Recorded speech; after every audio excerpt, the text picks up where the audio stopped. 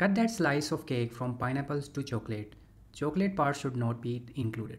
This is how slice works in JavaScript. You can use it for array and the string. So the syntax is very simple. You just have to put the uh, start index and end index. End index will never be included.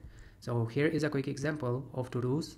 So we have an array of to-dos here and here in this case to-dos dot slice 1 comma 2 what does it mean? It means that it will start looking onto the index of 1 and then end on 2 and 2 will not be included. So task 2 will get printed.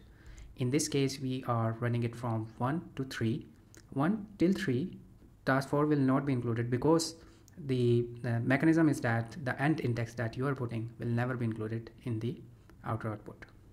So to do dot slice minus 1 so minus 1 start looking from the right side which means from the end side and then here you can see that to do slice minus 3 will return you the elements from task 2 task 3 and task 4 so slice does not change the original array it returns new array containing elements from index begin up to but not including the end. So this is another example of pagination. So we have an array of all the users and now we need to display those users in pagination. For example, on page one, the user should be only two and page two, user should, users limit should be two. Users per page will remain the same. The page will change when you click on the pagination. Okay, so this is just a, a quick example. Now you can see that page which is 1 minus 1 and multiply by users per page. So what will happen?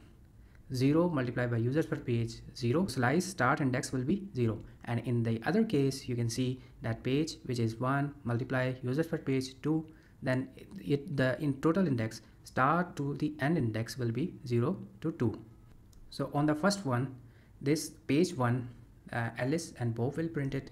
And on the second term on on the second page Charlie and David will print it. Why?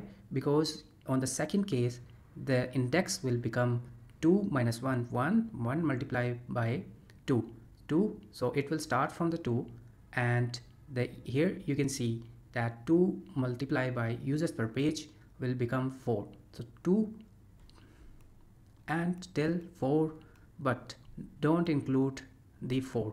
So this is how it will work. If you are curious which tool did I use to create this animation, I used Snappify.